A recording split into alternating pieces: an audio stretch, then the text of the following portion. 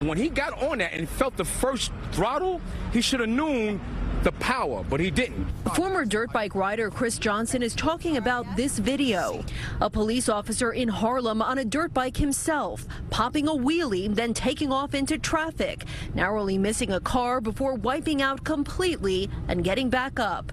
It happened last night around 6 o'clock at the corner of Lenox Avenue and West 135th Street. I don't understand why he was riding the bike and doing tricks at that. I think he was doing his job. He was trying to take us to the precinct.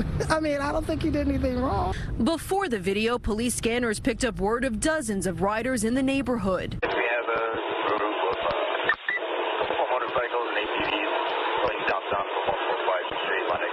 Police say they had seen a man on this bike riding recklessly, but when they tried to pull him over, he ditched the bike and got away on another one. We're told the officer was trying to ride the ditched bike to the nearby 32nd precinct.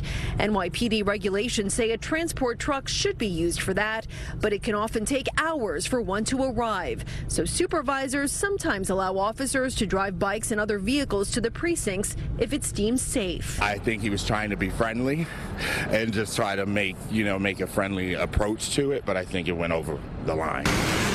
Dirt bikes and ATVs are illegal on New York streets.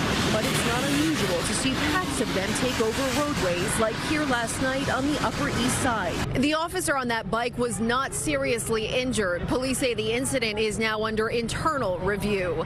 In Harlem, Andrea Grymes, CBS 2 News.